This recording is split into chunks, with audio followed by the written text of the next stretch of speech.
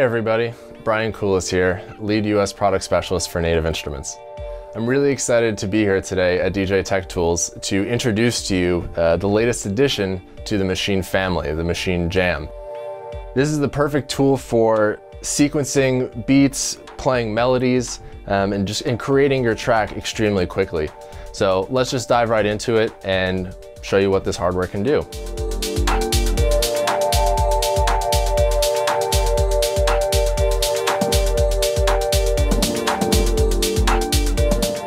What you're looking at here is the initial default layout of the hardware. These are all the different patterns that I have per group. So I still have group A, B, C, D, all the way to H, and I can still have an infinite amount of groups, which I can just toggle over using the directional pad over here. So per group, I have all the different patterns that I would want to have access to. So let's just take a listen to some of the elements that I have already in here. So I can quickly switch between my different drum patterns. Now let's add some other patterns from group B. Let's add some pad sounds. I have different bass lines here on group D.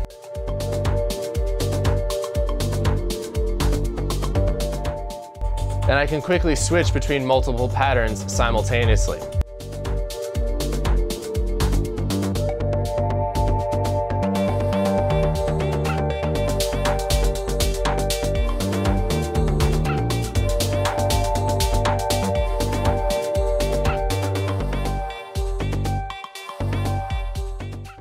So even just performing with the pads here, I have an idea. I already have the first sketch of my song.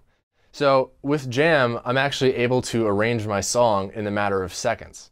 So at the top here, I have the different scenes of my project. So for scene one, I basically just pick and choose which patterns I want to have play for scene one. So I hit scene one, and maybe I want this drum pattern, those pad sounds to play. Scene two, I want that drum pattern, that bass line, and those pads. Scene three, I want that bass line, those drums, those pads. And then scene four, I want the last drum pattern, these little vocal samples that I have, and those two patterns. So now I can just trigger the different scenes and play them back.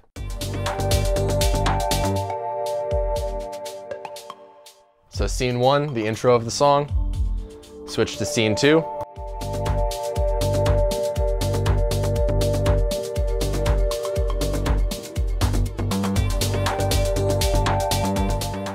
And if I want to play the whole entire song, I just hold scene one to scene four. And now it's going to play my whole song from start to finish. Or maybe I just want to work on a particular section of the record. I can just hold scene two to scene three, and it's just going to loop those two scenes. From this point on, you know, I would start editing certain parameters, such as, you know, customizing the sound, adding effects, but the structure of my song is already there, which is really the key element.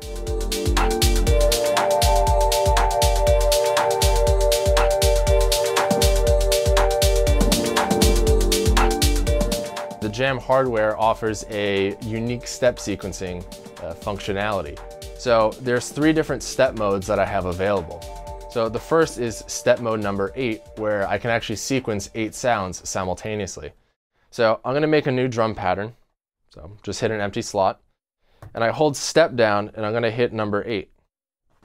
So now when I hit play, you can see I have the first eight sounds going across the, the pad matrix. So this is only a one bar pattern. So if I need to get further down in the sequence, I just hit number two and it lets me get to the remainder part of this section. So scene one, let's program some drums.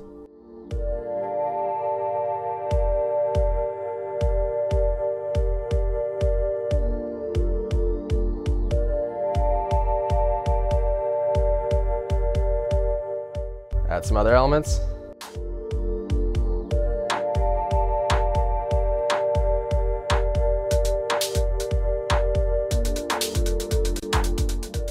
We can just do something random.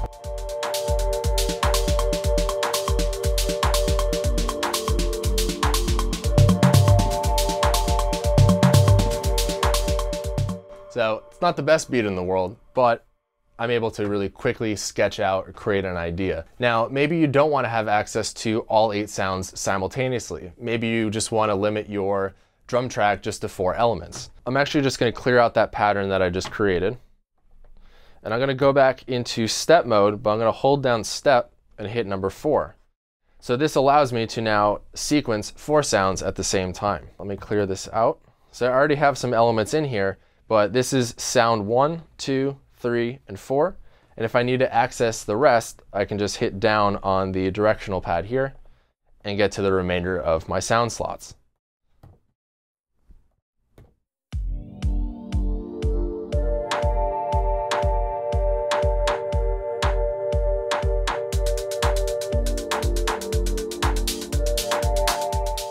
Add some other elements.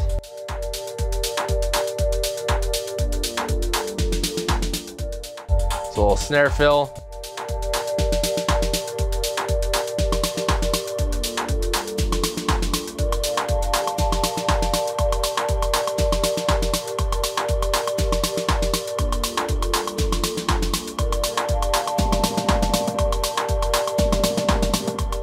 If you want to have the more traditional style step sequencer, I can hold down step mode and hit one, and I can just select a particular sound, like the kick drum, sound slot one, and then program in uh, the events for that sound. So.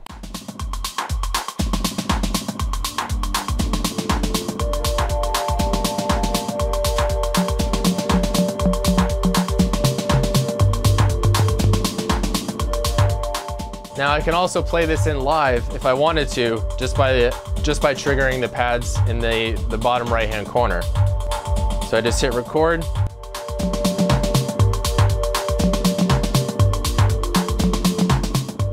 Now let's say I just want to add one additional tom hit, I can just go back into that sound and then add it back into the step sequencer.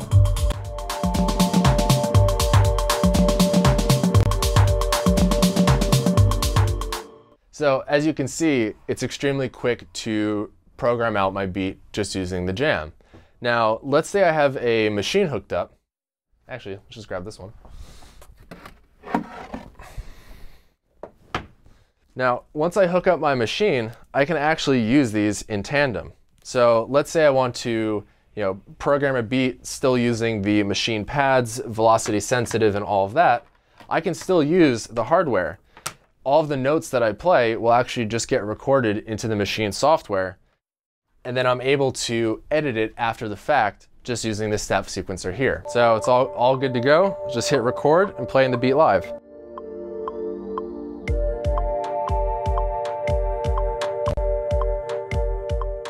There we go, just quantize it.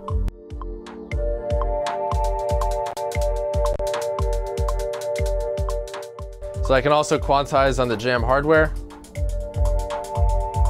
Oh, so I just hit shift and quantize. Now let's say, you know, I didn't hit all of the hi-hats that I wanted to. I can now just go into the step sequencer and then edit those notes.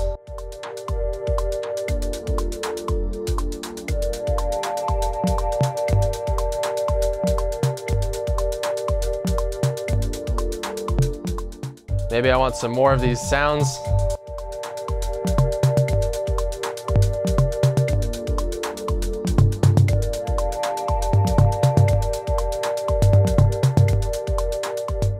If you just have the jam, um, you can still just hit pad mode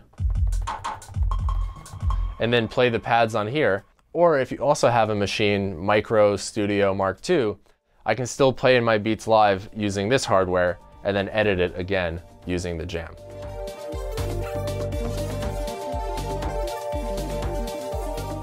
We have this new feature called Notes. So if I hit the Notes button, and let's go to group C where I have a melodic sound.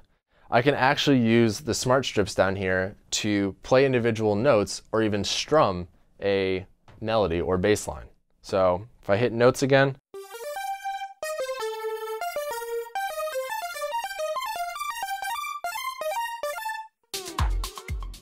so I can play it in live.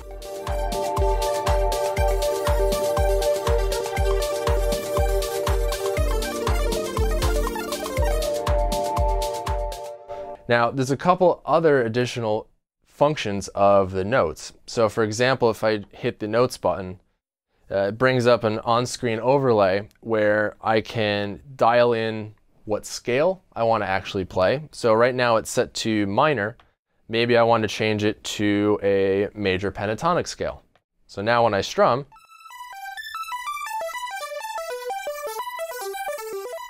it's going to be in key with whatever scale I have set in my software. I can also set different strum modes or different notes modes. So right now I'm on the chord mode, but I can also go over to user mode, for example, and construct my own chords using the, the pads at the top here. So maybe if I just have one pad lit up, it's one note, another one, just have three. But now let's say I want to add some more. Add these other two. These. Let's just add a bunch.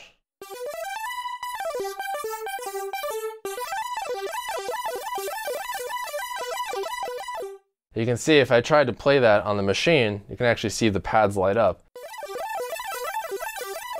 So we can record something in here. I'm to go back to the chords mode. There's another way to add in melodic elements uh, using the hardware. So let's go to group D where I have my bass line or my bass sound and I'm going to do shift pad mode which brings up keyboard mode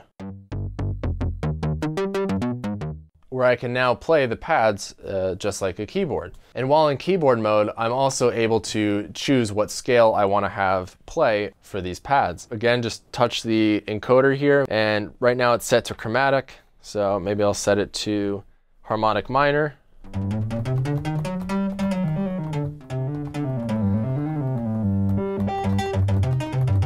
I can play in my notes using the pad matrix here, but another way I can do this is by holding shift note repeat, it brings up the arpeggiator, so I can just hold down multiple pads and it's going to arpeggiate whatever notes I'm playing.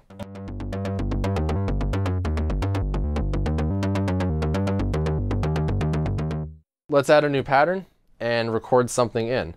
Now, my pattern length is actually set to one bar right now, so I want to adjust this, make this a little bit longer. To do that, I can hold down shift and hit pat length or the solo button. And now my pads here actually dictate how long my pattern is going to be. So right now it's set to one bar. Maybe I want it two bars or three bars or 64 bars if I wanted to. But in this case, I'm just going to make a four bar pattern and let's record in a bass line.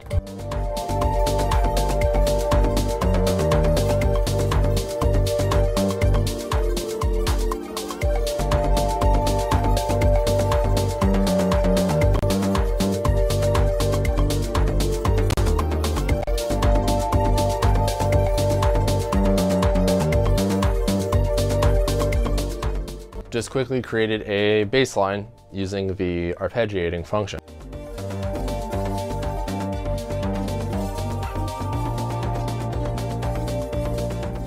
When I hit the level button, the strips down here allow me to mix the levels of each individual group or each individual sound from a particular group. So if I hold down level and hit, let's say just group A, all the group buttons are illuminated, letting me know that the strips down at the bottom are controlling volume for each individual group. So if I just hit play, you'll be able to see the different elements uh, playing.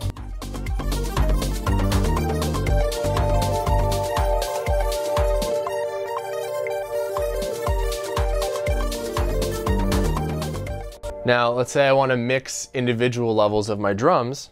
I'm on group A, I just hold level, I'm going to hit pad 1 and the first eight pads are lit up indicating that the eight strips here are controlling sounds 1 through 8. If I hit the right arrow over, now I'm controlling sounds 9 through 16. A unique feature that's on the Jam hardware is this lock button here. This actually has a bunch of different use cases. So a simple use case The lock feature works really well when adjusting volume. For example, if I hit the lock button first, I can start adjusting my levels.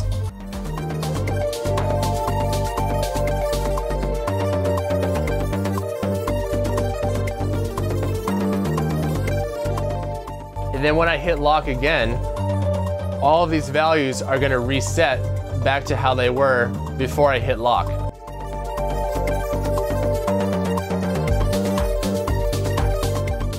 So if I want to do this with groups,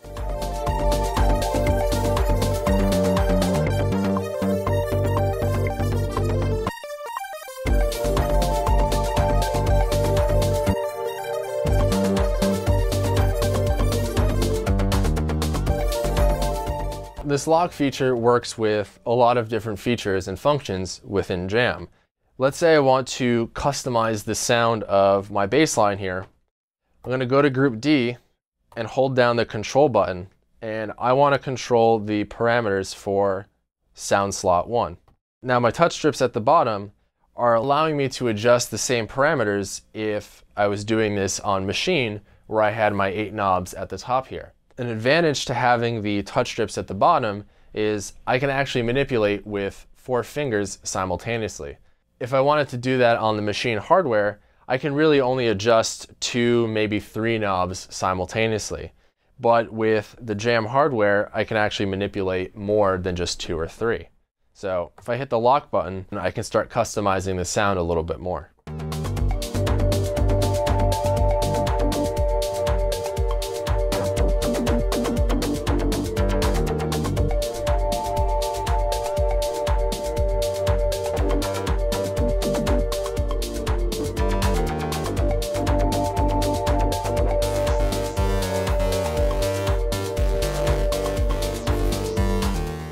I go to the next page, I have my next set of parameters that I can adjust.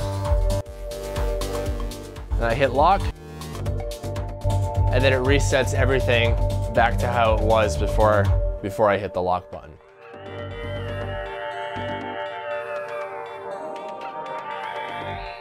So talking about the live performance aspect with the hardware, we've actually added some unique effects to the Maschine software that were specifically designed to be used with the smart strips. And these are called performance effects. Now, the performance effects, I can add one per group. So if I hit perform, right now I just have four performance effects on there, but this makes it really easy to use them in a live setting.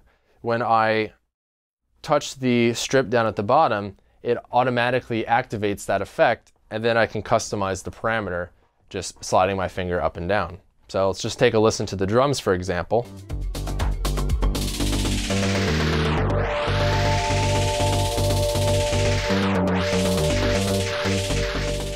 So I have a stutter effect there. Group B, I have the ring mod effect.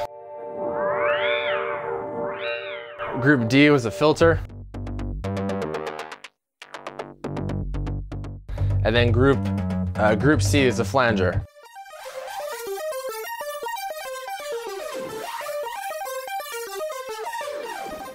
So all together allows me to have a you know, performance element to my song.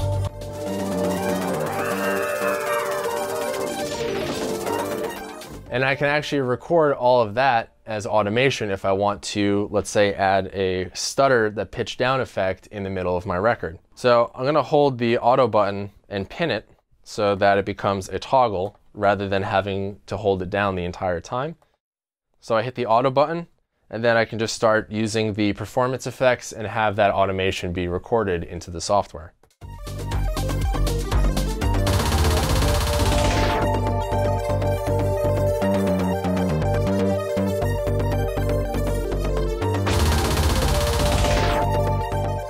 I can do all of this again with just the Jam hardware, but if you previously own any of the other Maschine brands, Micro, Mark II, or the Studio, this makes a great addition to your current setup. To learn more about Jam and to get your own, just click the link below. I'm Brian Kullas, and you're watching DJ Tech Tools.